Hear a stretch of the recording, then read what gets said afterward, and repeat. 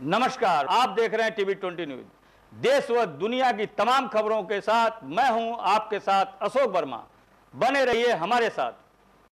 आज गुरु पूर्णिमा के दिन गोंडा में गोंडा के एक नर्सिंग होम में इस महिला को एक, दो नहीं, बल्कि चार स्वस्थ बच्चे पैदा हुए। हालाँकि यह बच्चे ऑपरेशन से हुए, लेकिन माँ समेत सभी बच्चे स्वस्थ हैं। इनमें से दो लड़के हैं और दो लड़कियाँ हैं। कोरोना काल में पैदा हुए इन चारों बच्चों की माँ को पहले ही एक औलाद थी। अब उसके घर में इन चारों की भी खिलकारियाँ गूंजेंगी। परिजनों ने इसे अल्लाह की नियमत मानकर शुक्रिया अदा किया। नर्सिंग होम संचालिका डॉक्टर ने कहा कि यह पेशेंट नौ महीने मेरे ट्रीटमेंट में थी और आज इतना अच्छा दिन है। गुरु पूर्णिमा का दिन और आज ये चार बच्चे यहाँ ऑपरेशन द्वारा पैदा हुए हैं, क्योंकि यहाँ चारों बच्चे बेड़े थे, सीधे नहीं थे इसलिए हमें ऑपरेशन करना पड़ा। मुझे लगता है कि आज के इतने शुभ दिन पर यह मेरी तरफ़ से मेरे गुरुओं का तोहफा है। ये पेशेंट मेरे ट्रीटमेंट में थी नौ महीना और आज इतने अच्छे दिन है, गुरु पूर्णिमा का दिन है।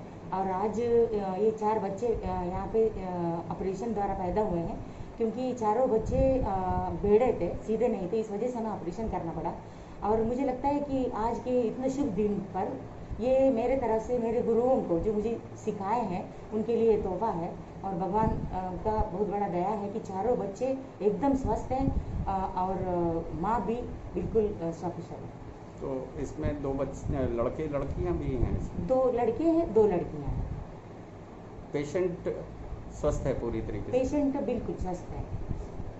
और बच्चे भी स्वस्थ? बच्चे भी चारों बच्चे इवन ऑक्सीजन तक नहीं लगाना पड़ा एकदम स्वस्थ। तो आपने ये गिफ्ट क्यों किया गुरुओं को? क्योंकि जो भी हम लोग हैं और हमारा जो भी स्किल्स हैं सर्जरी का वो तो उन्हीं का देन है मेरे गुरुओं का ही देन है जो हम लोग सीखे हैं। और एक चार बच्चे को रखते हुए नौ महीने तक उसको लेके आना यूजुअली टाइम से पहले ये बच्चे पैदा होते हैं। तो नौ महीने तक पहुंचाना एक बहुत बड़ी बात है। और मेरे ट्रीटमेंट में रह के उसको नौ महीने तक हमने पहुँचाया चारों बच्चों को सकुशल माँ के हाथ में दिया। ये मतलब मैं सोचती हूँ कि भगवान का भी मेरे लिए मदद है और अपने ऊपर भी मुझे गर्व है इस बात। और गुरु लोगों गुरु लोगों का ज़रूर आशीर्वाद है। अब नॉर्मल थे बच्चे क्या पेट में? एबनॉर्मल पोजीशन में थे। पोजीशन में सीधे नहीं थे। तो नॉर्मल होने का आ, ये नहीं था। तो ये आपने गुरु जी को गिफ्ट किया जी जी जी।